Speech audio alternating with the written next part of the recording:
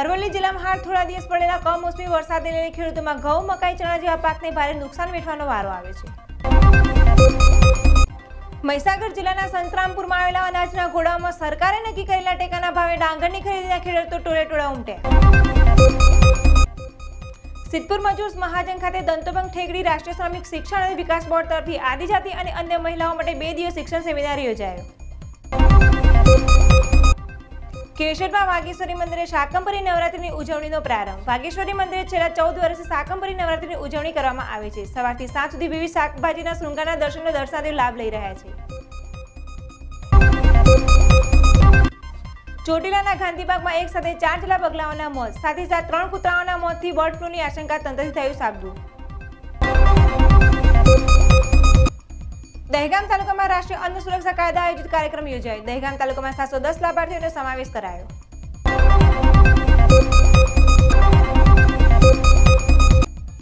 ગીર સોમનાથ જિલ્લાના ઉના તાલુકાના નવા બંદર ખાતે જેટી મુખ્ય પ્રધાનના હસ્તે કરાયું ખાતમુહૂર્ત. બસો પંચાવન પોઈન્ટ પંચ્યાસી કરોડના ખર્ચે બનશે આંતરરાષ્ટ્રીય બંદર.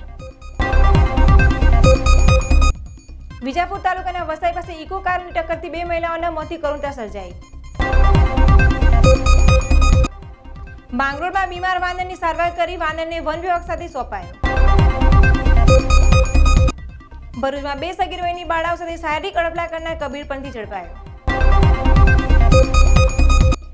સાબરકાંઠા જિલ્લાના આરોગ્ય કર્મચારી મંડળ દ્વારા રાજ્ય મહાસંઘના હોદ્દેદારો સામે થયેલા પોલીસ ફરિયાદના વિરોધમાં આવેદનપત્ર આપવામાં આવ્યું.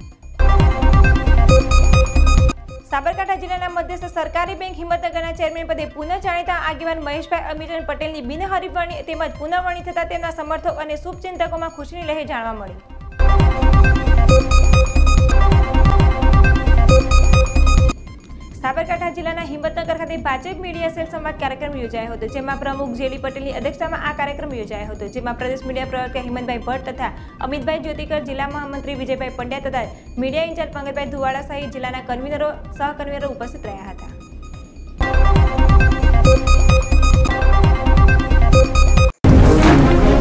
ખૂબ જ મહત્વની માહિતી મળી રહી છે. પુણેની સિરમ ઇન્સ્ટિટ્યૂટમાં આગની ઘટના બની. ફાયર વિભાગની ચાર ગાડીઓ ઘટના સ્થળે પુણેની સિરમ ઇન્સ્ટિટ્યૂટની નવી બિલ્ડિંગમાં આગ લાગી. નવી બિલ્ડિંગના બીજા માળે લાગી ભીષણ આગ. અત્યારે ખૂબ જ મહત્વની માહિતી મળી રહી છે. પુણેની સિરમ ઇન્સ્ટિટ્યૂટમાં આગની ઘટના બની છે. ફાયર વિભાગની ચાર ગાડીઓ ઘટના સ્થળે પુણેની સિરમ ઇન્સ્ટિટ્યૂટની નવી બિલ્ડિંગમાં આગ. નવી બિલ્ડિંગના બીજા માળે લાગી ભીષણ આગ.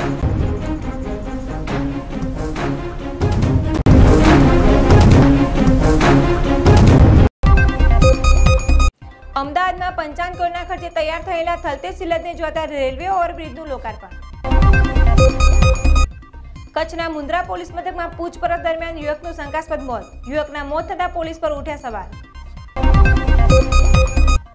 પીએમ મોદી અને મુખ્યમંત્રીઓ બીજા તબક્કામાં લેશે કોરોના વેક્સિન. સુરેન્દ્રનગર જિલ્લાના લખતર અને વઢવણ ગામ વચ્ચે એક અકસ્માત સર્જાયો. ડમ્પર અને ટ્રક વચ્ચે અકસ્માતમાં એકનું મોત.